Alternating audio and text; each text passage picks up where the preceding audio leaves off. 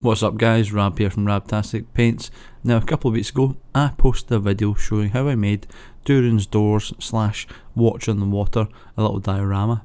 I took it to a recent tournament, the Scouring of Stirlingshire, and I won third place, which was quite a shock to say the least. Now when I posted the video I asked for ideas about what scene from Lord of the Rings I should do next. Someone suggested Dead Marshes, and that's what we're doing today. I started with some XPS foam board and I drew the rough pattern of where I wanted the land to be in this marsh because it's going to be mostly uh, manky water so a little bit of pathway and some little islands I can put some shrubbery and some trees on stenciled it out with a pen and then got to cutting it. Now I recently bought a really really sharp craft knife and I thought it was going to be one of my favourite tools but I had to go back to the foam cutter, the, the wire cutter. It, is, it was 10 times better. I mean, just look at that. That is foam cutting porn. This is a great tool that cost me less than a tenner on Amazon and it might be almost wrecked but the the use that I've got out of it has been fantastic. I was saying during the week to a couple of guys that it's great having the proper tools for a job. It makes even daft little projects like this so much easier.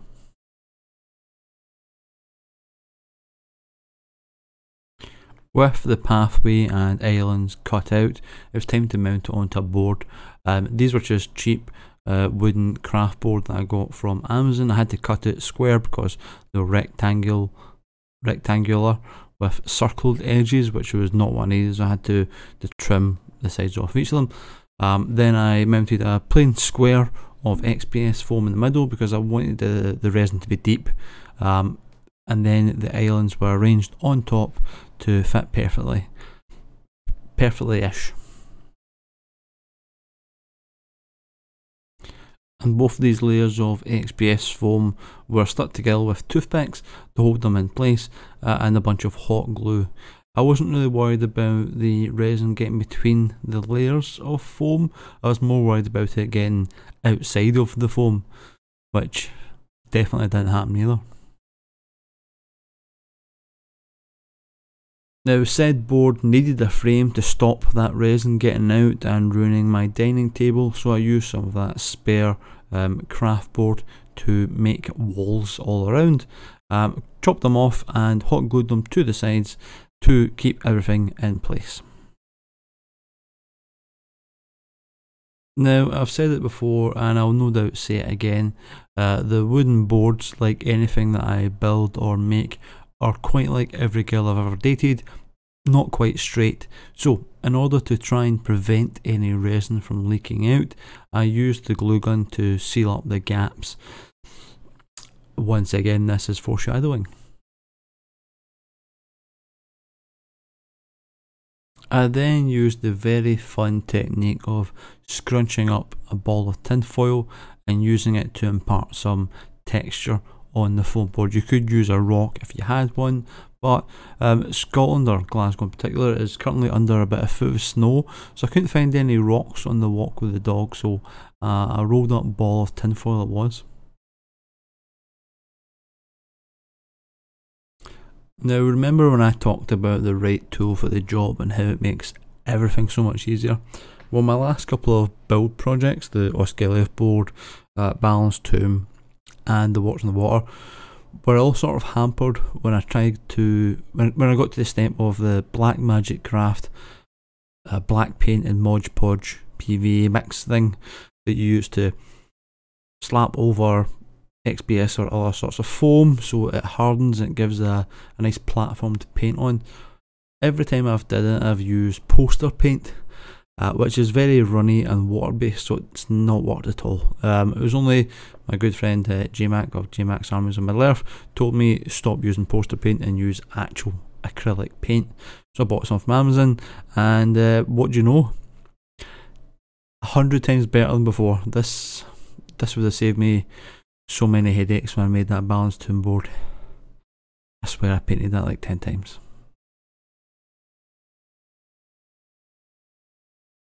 After leaving it overnight to dry and then giving the whole board a quick spray of black spray paint, including the wood on the outside, I then took a, a very dark brown and started filling in uh, most of the area with the brown. I wasn't too worried about leaving spots of black in the corners, but I wanted it to have a good base coat of brown. This was a living board after all. After that I did another couple of coats with a lighter brown and then a dry brush of an even lighter brown, paying close attention to the edges of the board, uh, the edges of the pathway as well as the actual path itself down the middle of the board. And now it's time to add the dead that give the dead marshes their name. These are some sculpts from the painting goes ever on um, that I painted up to look like really old ancient elves. Nice blue skin, some gold armour, some green cloaks, uh, and then I held them in place using some UV resin. I was hoping that the UV resin might give them a little bit of a glow in the dark effect under all the resin. It didn't really work like that, but it held them in place um, long enough for me to pour the actual resin on top of them anyway. So I did uh, about four of these, um, in place of actual dead elves, which I don't have in stock, I'm afraid. At this point, I was looking at the board and I knew it needed something, but I, I just couldn't figure out what. And then a little voice in the back of my head spoke to me. A wee tuft. So I set about tufting everything in sight. Um, in hindsight, I should have probably tufted under where the resin would be so that it looks like there's things under the water living. I then attempted to sink some down, but we'll get to that part of the video uh, later. But yeah, tufts everywhere to give the dead marshes a little bit of life. Does make sense though. I then put down a small layer of basing glue from Geek Gaming Scenics and using some of their uh, basing range just laid down a little bit of a path down the middle of the marsh.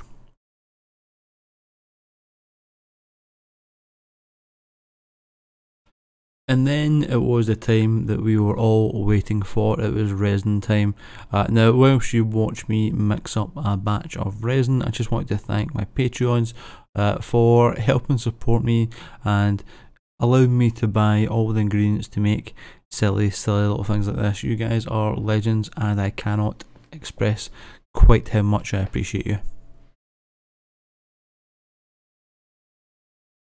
With the two part epoxy resin fully mixed together, it was time to add a little bit of dye uh, to the water. Um, I started off with a few drops of blue and then a couple of drops of black just to give it a, a watery but dark look.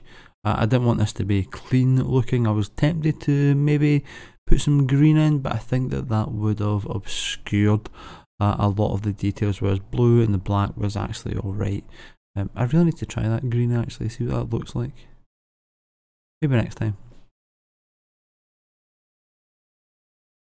With the ink mixed in, it was now time for the resin pour, and I'm going to let you watch that in silence.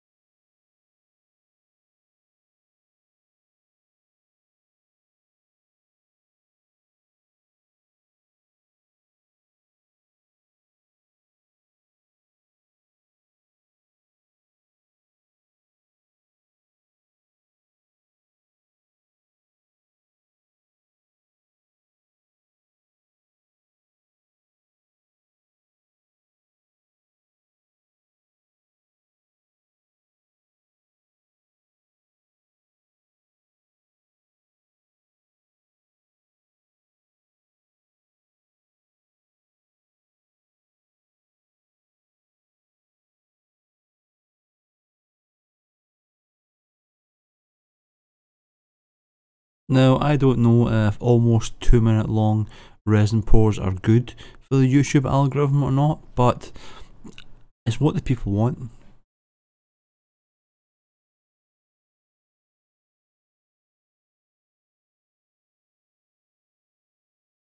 With the resin completely poured, it was again an overnight wait to see the results and yeah, as I've hinted to multiple times across this video, there was a little bit of leakage. Now when I got up the next morning the board had leaked a little bit and was stuck to the plastic lid uh, but I had a fix for that and then I just made my way around the edges peeling it off safely using my uh, big metal wallpaper scraper. In all honesty, it could have been a lot worse for um, a board and enclosure dam that I made myself. I just peeled the resin off, flung it in the bin, and it was good as new. Well, I thought it was good as new anyway. I'll let you guys decide.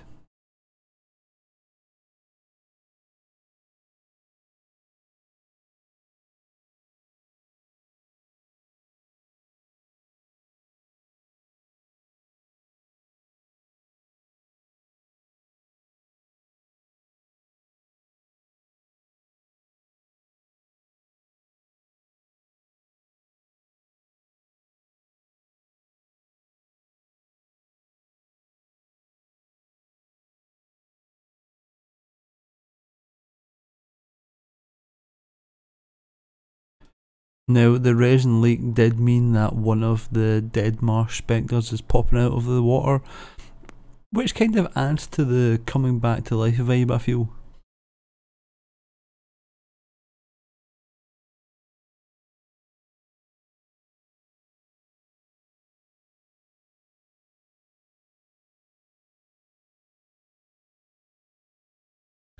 I hope you all enjoyed watching this video as much as I enjoyed making it. If you did, please hit like, please subscribe if you haven't already, please leave a comment, share the video with one of your friends, all that YouTubey goodness. Now, before I say catch you next time, in honour of the JMac cameo, here's a little outtake for you, and I'll catch you next time. A wee tuft is required. What would you want me to say? I'm so hungover.